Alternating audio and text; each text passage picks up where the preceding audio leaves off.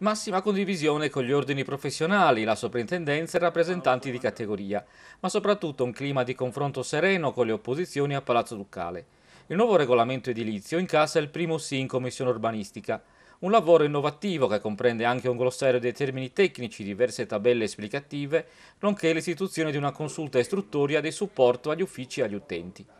Adesso sarà il Consiglio Comunale ad esaminare il testo, che si pone già come regolamento pilota anche per altre realtà della Sardegna.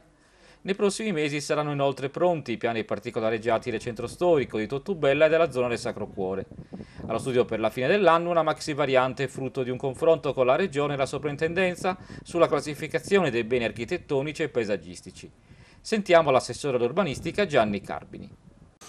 L'importanza di questo regolamento va nel senso della semplificazione e della chiarezza delle norme. Disciplina certamente la procedura anche per quanto riguarda le nuove costruzioni, ma disciplina in modo particolare gli interventi che riguardano la riqualificazione del patrimonio esistente.